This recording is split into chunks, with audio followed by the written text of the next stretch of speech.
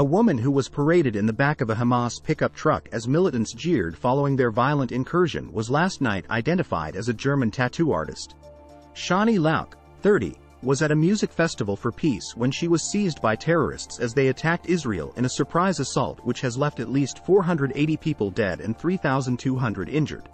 She was filmed in the back of a truck, terrorists sitting around her and supporters of the group cheering and running alongside her.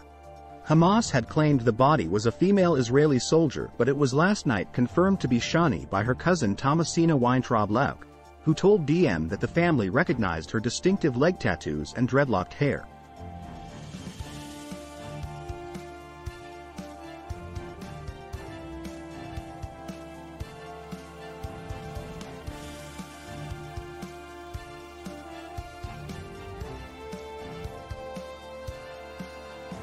She said, We have heard nothing. We are hoping for positive news. It is definitely Shani. She was at a music festival for peace. This is a nightmare for our family.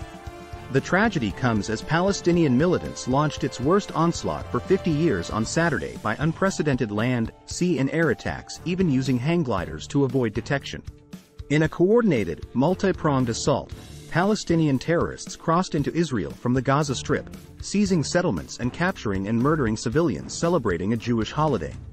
Dozens of people are feared to have been snatched off the street and returned to Gaza, or simply killed on the spot.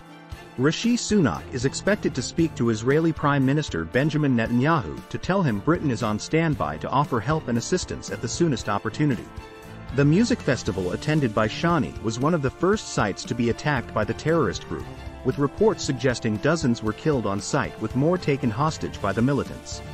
Bodies of Israeli civilians were strewn across the streets of Sderot in southern Israel, near Gaza, surrounded by broken glass. Terrified Israelis, barricaded into safe rooms, recounted their plight by phone on live TV. Other footage showed captured soldiers and civilians, some dead, being paraded through Gaza's streets heralding the start of what Hamas called the greatest battle to end the last occupation on earth.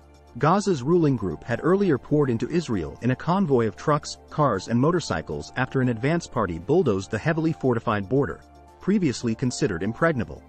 World leaders have appealed for restraint in the conflict, which threatens to severely destabilize the region, with U.S. President Joe Biden warning Israel's enemies not to take advantage of the situation. Speaking on Saturday night, PM Netanyahu issued a dire warning to Hamas militants. I tell Hamas, you are responsible for the well-being of captives. Israel will settle the score with anyone who harms them. Enough is enough, Deif, who does not appear in public, said in the recorded message. Palestinians use an excavator to break through the border fence separating the occupied Gaza Strip from Israel.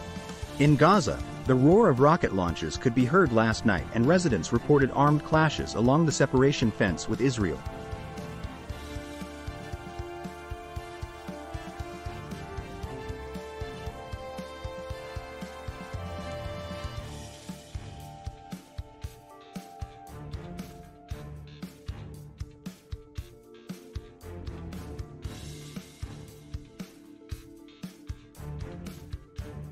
One terrorism expert added that the captured Israelis could even be used as human shields to stop the Israeli Air Force, which began pounding Gaza yesterday, from blowing up certain targets.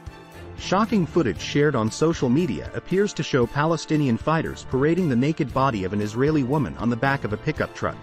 Salah al-Aruri, a top Hamas official, told the Al Jazeera television station that his group is holding a large number of Israeli prisoners, including senior officers, adding they will be used to bargain for the release of Palestinian prisoners in Israeli jails. Onslaught from land, sea and air. Ian Gallagher reveals how Palestinian terrorists crossed into Israel and launched a coordinated, multi-pronged assault that left the world recoiling in horror.